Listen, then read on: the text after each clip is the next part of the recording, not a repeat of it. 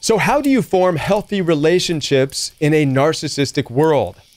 How do you form healthy friendships and avoid toxicity? How do you unify in a partnership without experiencing narcissistic abuse?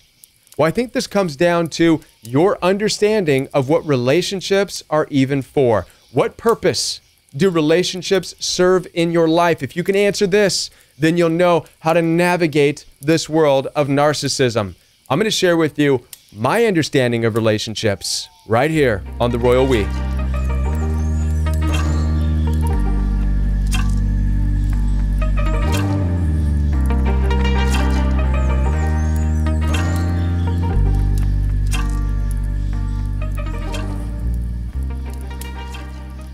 Before I get into this message, I want to let you know that I am taking one on one appointments. Down in the description box, you'll find access to my calendar to schedule some one on one time with me.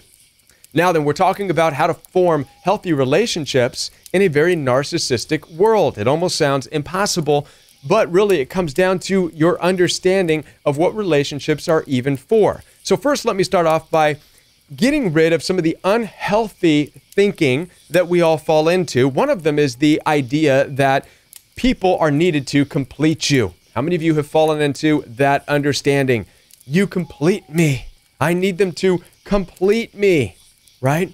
The danger behind this mindset is that oftentimes it leads you astray to find somebody of opposite characteristics of you because you feel that opposite a character is what's going to balance you out or some weird thing like that. Opposites attract because they have what I don't, blah, blah, blah. And by now, you're aware after being involved with narcissistically abusive people, the people that are into opposite things of you is not necessarily good. It pulls and takes you in directions that you don't want to go in life. Not only that, but I think it robs you of the understanding that you are already made complete. You don't need anybody to complete you at all. That's inviting trouble into your life. As a matter of fact, the ancient understanding through the Old Testament of the Bible is that when God made the first person, Adam, God spoke and said, Let us make Adam in our likeness. What does this mean? What's the likeness of God? The likeness of God is completion. God requires nothing to be completed. God is complete. And the first person made was also made complete. But now watch this. Just moments later, according to the story, the next person is made. The question is why? For the purpose of a relationship, right? But why? Was it for completion? No, that's not what it says at all. It says, let us make a suitable helpmate. Help for what? Help for tasks, help for the heavy load and the burden of this world.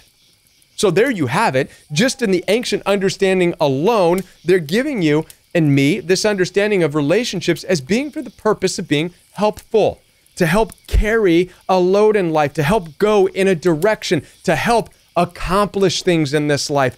That's the purpose of relationships. It's not completion. There's no such thing as a soulmate, if you will. Your soul exists, and when you leave this place, your soul will go where it belongs. There's not going to be any other soul attached to it. You are made complete. And this is, is evident in today's world because there's more and more people choosing to be single, understanding that they exist complete on their own. So now let's talk about why, though, you would want to have relationships in this world and what the purpose is for. Again, it's down to having a suitable helpmate. And I'm going to refer to the Bible again because one of the common themes throughout the Bible when it comes to understanding relationships is it makes the reference of talking about not being unequally yoked. How many of you have heard that statement before? Don't be unequally yoked. And many people, myself included, are like, what does that even mean? What are you talking about? Don't be like eggs? What the heck? It makes no sense, man. Talk English. So let me help you out here. A yoke it's not the type of yolk that's in an egg. What, right? Understand that back in that day, they used oxen. Oxen, if you don't know what that is, it's like a big, big bull looking creature, strong creature, horns. And these oxen would have the tasks of carrying huge loads in life, doing work, and they would yoke two of them together. A yoke is a beam that would support, be supported between two animals for the purpose of the two going faster and stronger than one could alone. Now, if you get this image, you can understand why it would say do not be unequally yoked in your relationships, because then one's going to have to pull while the other is falling down, going a different direction. You don't want an unequally yoked situation. Yet we do this in our relationships all the time. So, first, understand the purpose of relationships, at least from my perspective, is for helpfulness, to have help in the tasks and the daily burdens of this life, which means you need to know who you are. You need to know what your purpose is. You need to know where you're going. And then you need to identify with a person who's also going in that direction, who's capable of carrying a load with you. And then you become unified, yoked together, and you move stronger and faster, the two of you, or the three of you, or the whole gang of you. You move in that direction faster and better than one person could alone. This is the purpose of relationships. Right? I never thought that I would say this. In fact, for a long time, I disagreed with this, what I'm about to tell you.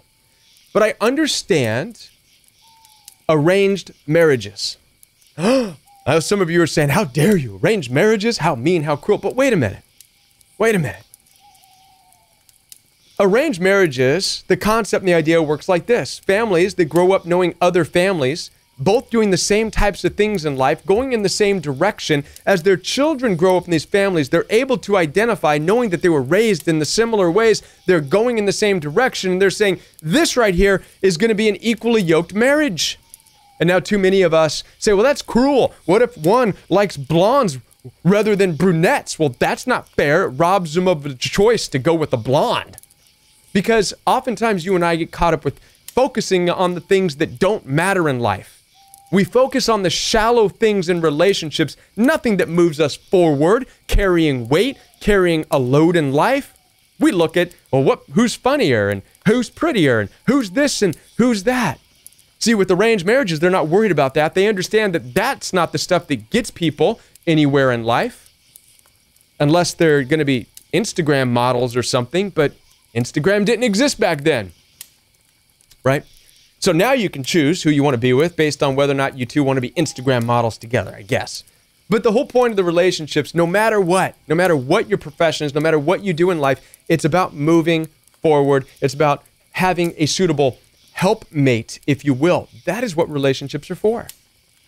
But this requires that you first understand who you are in this life what direction you're going in this life. What are your goals? What's your five year plan? What's your 10 year plan? And once you identify this, what's your temperament, by the way? What life stream are you on? Are you in a calm stream? Are you a calm personality or are you a turbulent, drama filled personality? Who can hang with you? Who can help you carry your load? This is your helpmate. You help them, they help you. You move together, same path. If you understand this principle, You'll know how to navigate this world and avoid toxic relationships with narcissistic people who you have no business being with. Doing things you have no business doing, going places you have no business going, which isn't helpful to your life at all. Listen, I want to help you to understand this principle even further. Down below, you'll find access to my calendar for one on one appointments. Telephone call, WhatsApp, FaceTime video calls are available for you. Text message consultations are available for you. So head on down there. Also, Monday night is Royal We Live Chat. Saturday morning is Royal We Fellowship. Follow me on Instagram, and I will be back here with more videos for you right here on the Royal We.